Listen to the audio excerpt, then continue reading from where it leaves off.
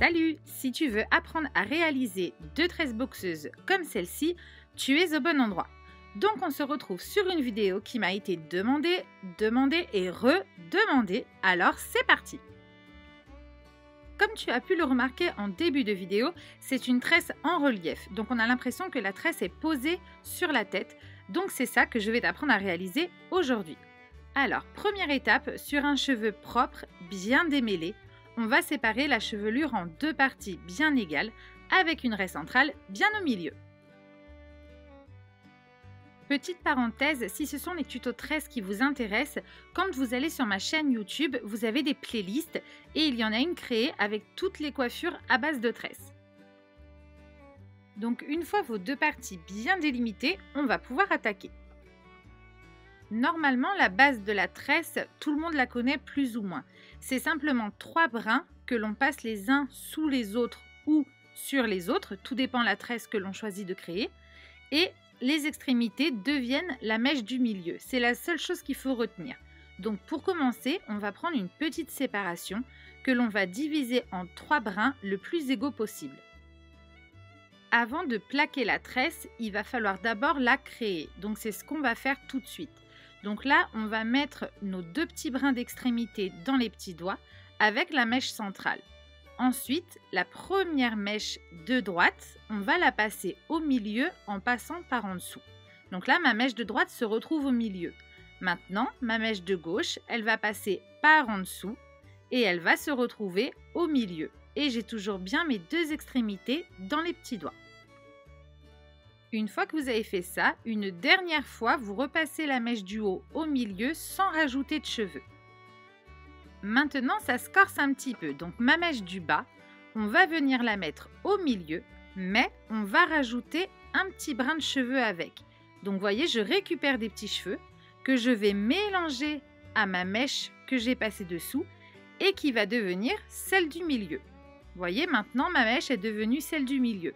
On doit faire pareil avec la mèche de droite qui est en haut. Je la fais passer au milieu, je rajoute un petit brin de cheveux et elles deviennent toutes les deux une seule mèche au milieu. Et pour créer une tresse africaine, il faut refaire ces étapes à chaque fois jusqu'en bas. Donc là, je recommence. Maintenant, c'est à la mèche du bas de passer au milieu. Et voyez, je viens rajouter une petite mèche pour que les deux se rassemblent au milieu. Ensuite, je récupère la mèche du dessus pour la mettre à l'extrémité, ma mèche du milieu qui est arrivée et maintenant c'est à ma mèche de l'autre côté. Elle passe dessous, je rajoute un brin et elle devient ma mèche du milieu.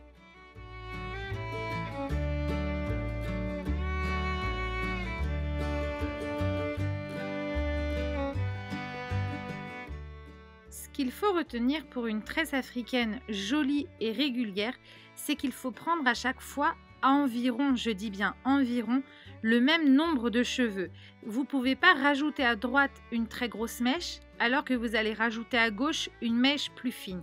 Il faut rester régulier dans les cheveux que vous rajoutez à chaque fois pour que la tresse grossisse à chaque fois.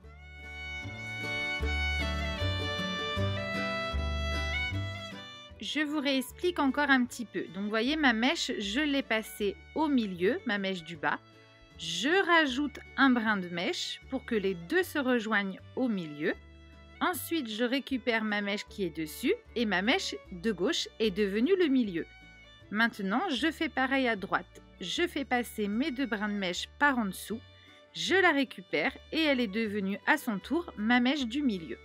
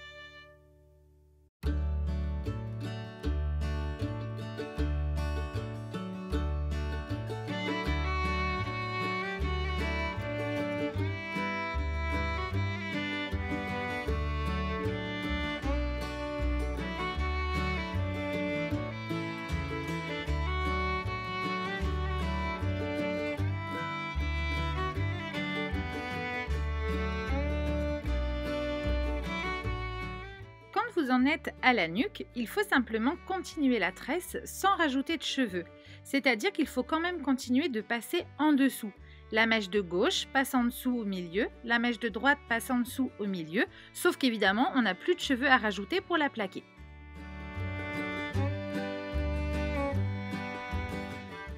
Voilà, ce tuto tresse basique est terminé. Donc j'espère qu'il vous a plu, j'espère qu'il va vous aider et j'espère aussi que vous allez y arriver. vous pouvez me rejoindre sur mon compte Instagram où je poste toutes mes idées de coiffure.